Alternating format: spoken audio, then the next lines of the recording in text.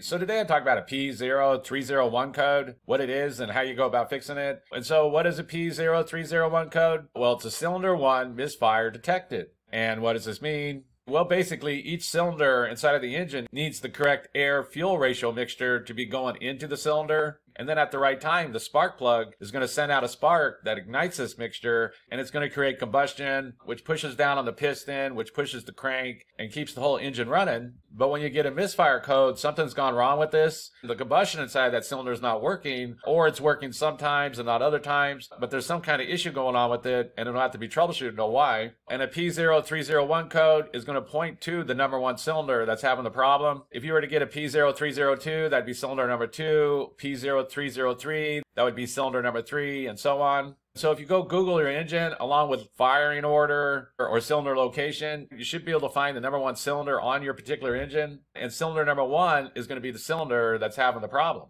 And the thing about these misfire codes is that if you're only getting the misfire code on one cylinder, then you can just go check the components on that cylinder. So that would be things like the coil, the injector, the spark plug, the spark plug wire going to that cylinder, and things like that. But if you're getting multiple misfire codes, you're getting like a P0300, like other cylinders are also misfiring, then that can point to something else that would affect the whole engine. So for example, like a bad fuel pump that's putting out low fuel pressure, it'll affect multiple cylinders and so you would be getting multiple misfires. But if you're only getting one cylinder, like this P0301 code, then you could just go check those individual components, and likely there's some kind of issue just going on with one of those. And so what are some possible causes of a P0301 code? Well, it could be a bad spark plug, especially if that vehicle has a lot of miles on it. The spark plugs might need to just be changed. It can also be the spark plug wire going to the spark plug. It might have a bad connection or there might be some kind of issue going on with it. It can also be a bad coil. There might be some kind of problem going on with the coil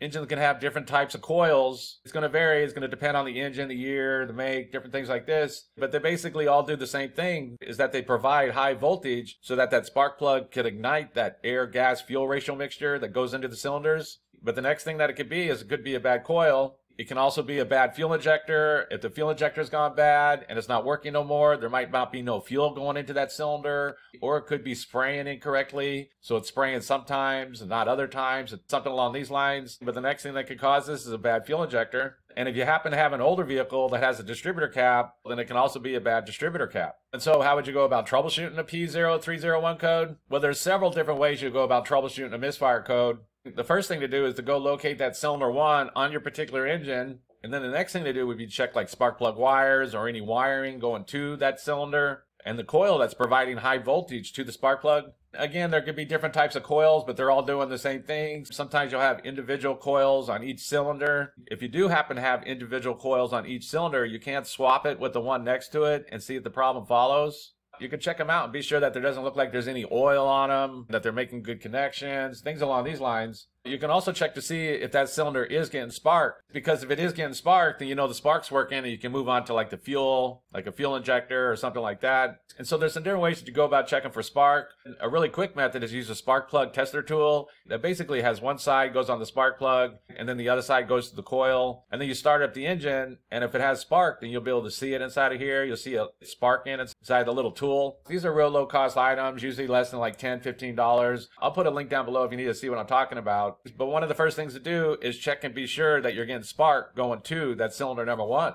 If you're not getting spark to that cylinder, you can also check out the spark plug. You can pull it out, check to see if it's damaged or there's some kind of issue going on with it. Because if that spark plug is bad, then it's going to cause issues. If you are getting spark to that cylinder, then the next thing to check is going to be that fuel injector. Again, there's some different ways to go about testing a fuel injector. Sometimes these injectors can be kind of easy to get to. And if that is the case, then you could swap it with another cylinder and see if the problem follows. Sometimes they can be hard to get to. So if you have a multimeter, you can also test them this way to see if they failed. There's some good YouTube videos on how you go about using a multimeter to check the fuel injectors. But if you're getting spark, then the next thing to go and do is to go test that fuel injector on cylinder number one and be sure that it's working. And so that's basically it. I just wanted to give a basic overview of how you go about fixing an engine with the P0301 code. If you have anything to add, please comment down below. If you have any questions, ask me. I'll try to answer them.